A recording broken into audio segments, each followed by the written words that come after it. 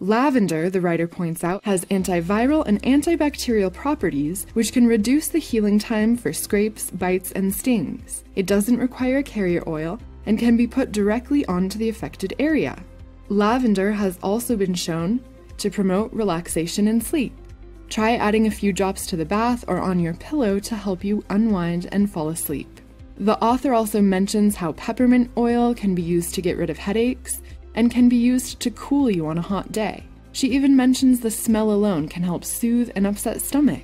Eucalyptus is a wonderful oil if you have a cough, and tea tree oil is antibacterial, antifungal, and antiseptic. Roman chamomile, as Fox News reports, is a powerful anti inflammatory. Do you know how much money we spend on anti inflammatory drugs every year? Almost $1.6 trillion of ibuprofen sold in 2013. That doesn't even count the other NSAIDs, non steroidal anti inflammatory drugs, and the side effects can be frightening. According to the American College of Rheumatology, and I quote, possible risks of all NSAIDs include, among others, stomach problems like bleeding, ulcer, and stomach upset, high blood pressure, fluid retention, causing swelling such as around the lower legs, feet, ankles, and hands, kidney problems, heart problems, and rashes.